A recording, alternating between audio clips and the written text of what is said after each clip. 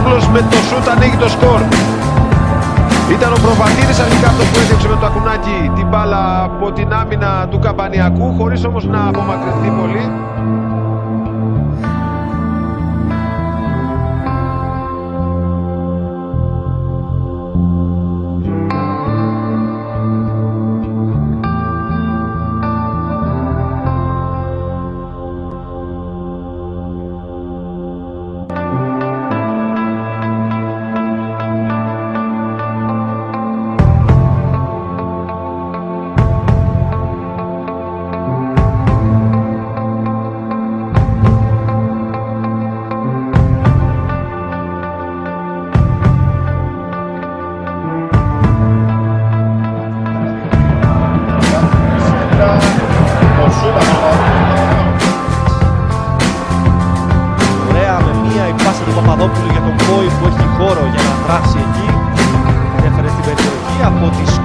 Παπαδόπουλος και ΕΠΕ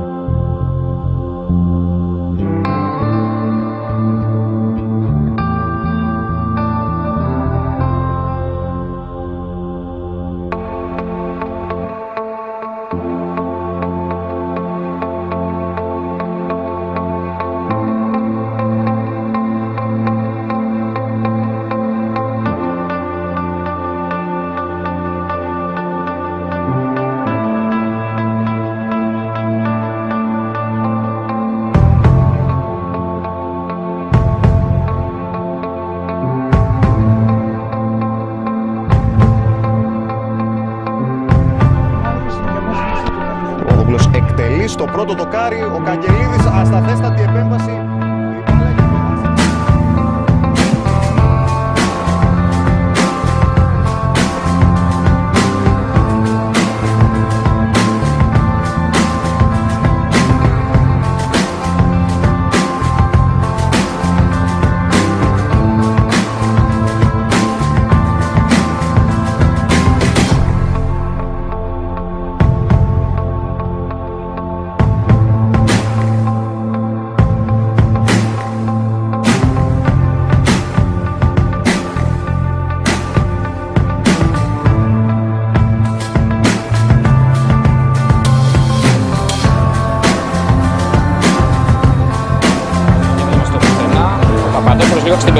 αριστεροπόδι, τελικά σκάνε με το δεξί, τα ακουμπούσε